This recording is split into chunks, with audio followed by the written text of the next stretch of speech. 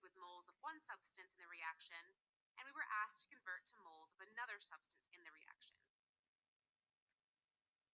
More complex stoichiometry problems can involve what are known as mass-to-mass stoichiometric calculations. In a mass-to-mass stoichiometry problem, we're given the mass of one substance in a chemical reaction and asked to convert to the mass of another substance in the problem.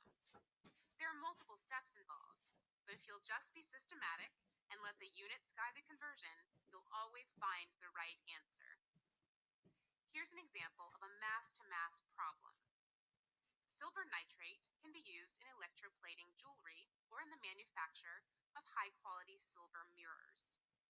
How many grams of silver will be formed from the reaction of 12.0 grams of copper with silver nitrate according to this reaction? We already have a balanced equation. And in this problem, we're given the mass of copper that's going to be used in the reaction and the problem asks us to solve for the amount of silver that will be produced in grams.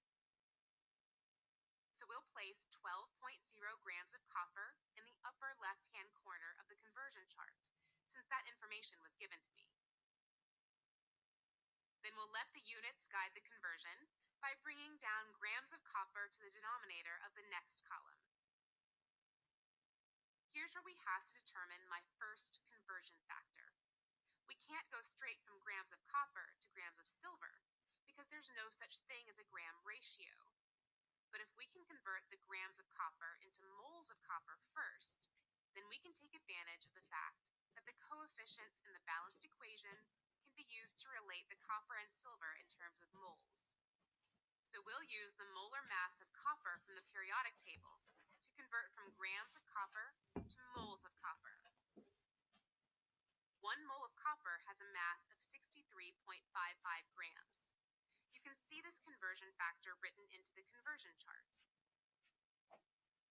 Once we have moles of the substance that the problem gave us information about, copper, we can then use the mole ratio step to convert to moles of the substance we're seeking from the problem. In this question, silver. Remember, these numbers come from the coefficients in the balanced equation. 1 understood for copper, and 2 for silver. And don't forget to cancel the units as you proceed through the calculation. Since this question asked for grams of silver as opposed to moles, we must continue with the conversion.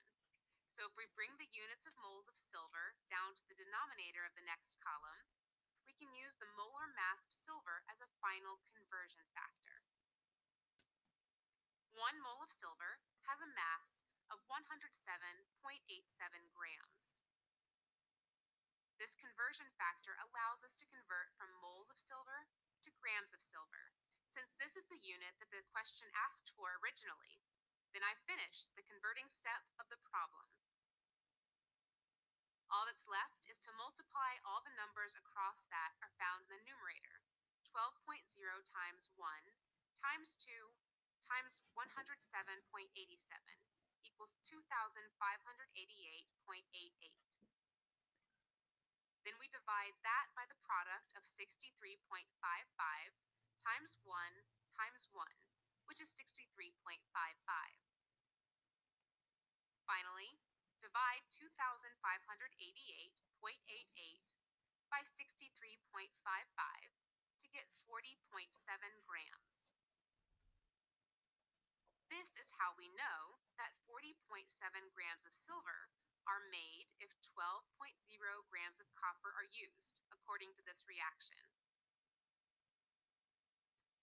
Stoichiometric calculations such as these have to be performed every day by chemists in various fields, industrial, pharmaceutical, and environmental chemistry. We've also placed a graphic organizer showing the relationship between all types of stoichiometric calculations in the Chemistry Matters Toolkit.